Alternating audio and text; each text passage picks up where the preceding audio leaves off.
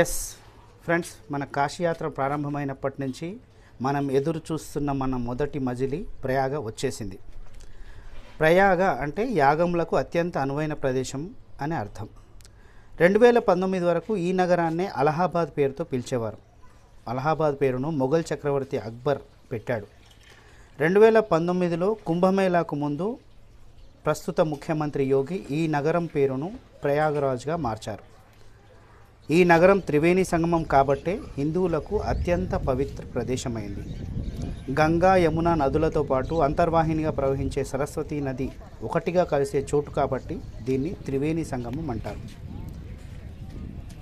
కాశీకి వెళ్ళే ప్రతి ఒక్కరూ ఈ ప్రయాగ త్రివేణి సంగమంలో స్నానాలు చేసి తమ పెద్దలకు పిండ ప్రదానం చేసి మరీ వెళ్ళడం ఆనవాయితీ.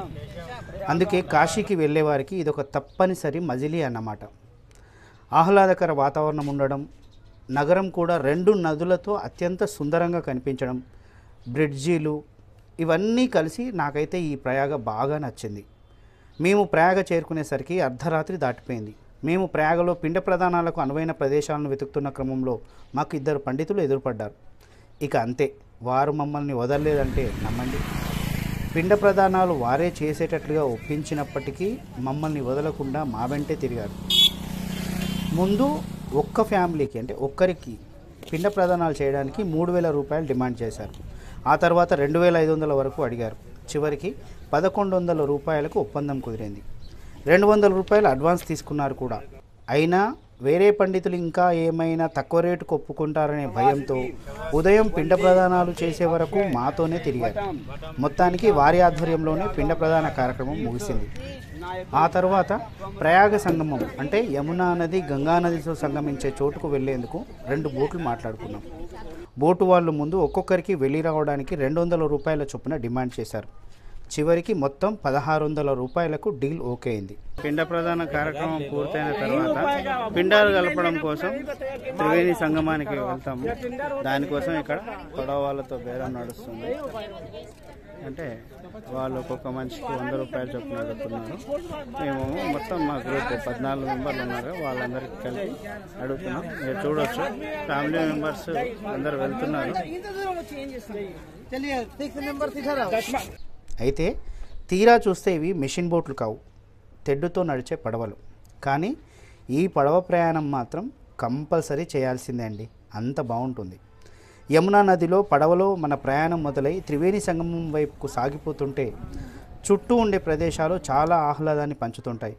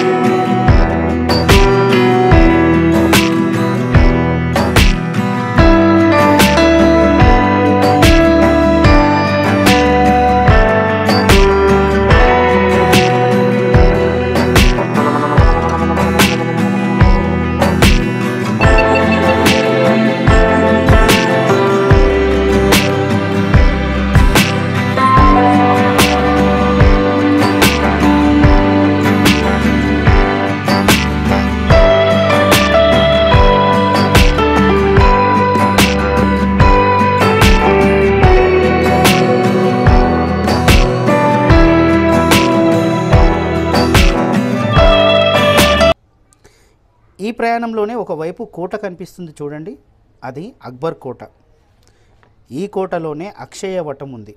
అక్షయవటం అంటే మరణం లేని చెట్టు. అయితే ఈ కోట ప్రస్తుతం భారతీయ సైన్యం ఆధీనంలో ఉంది. అందుకే ప్రత్యేక అనుమతి ఉంటే తప్ప కోటలోకి వెళ్ళలేం.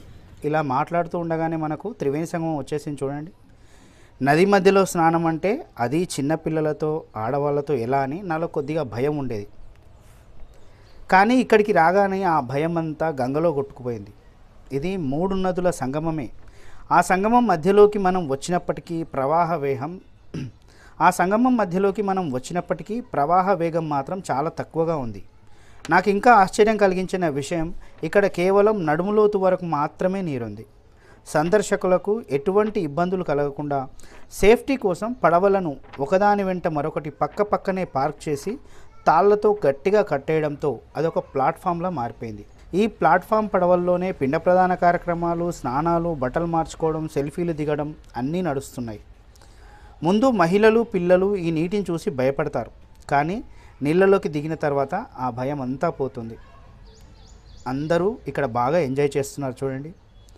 అయితే ఇక్కడ పార్కింగ్ ఫీజు అంటూ ఒక్కొక్కరికి మళ్ళీ ఇరవై రూపాయల చొప్పున వసూలు చేయడం మాత్రం గమనార్హం. పూజలు చేసిన తర్వాత పిండాలను తీసుకొచ్చి ఇక్కడే నీటిలో కలిపేసి సుమారుగా ఒక గంట సేపు ఇక్కడ ఎంజాయ్ చేసి అవే పడవల్లో తిరిగి వచ్చాం. అయితే ఇక్కడ ఏజెంట్లదే రాజ్యం. ఈ పడవ నడిపే అతను ఈ పడవకు యజమాని కూడా. అయినా ఇతనికి చాలా తక్కువగా గిట్టుబాటు అవుతుందంట. ఈ ఏజెంట్లకి ఎక్కువ కమిషన్ పోతుంది అంట. విని బాధేసింది. అలా మా ప్రయాణ త్రివేణి సంగమ సందర్శనం స్నానం విజయవంతంగా ముగిసింది.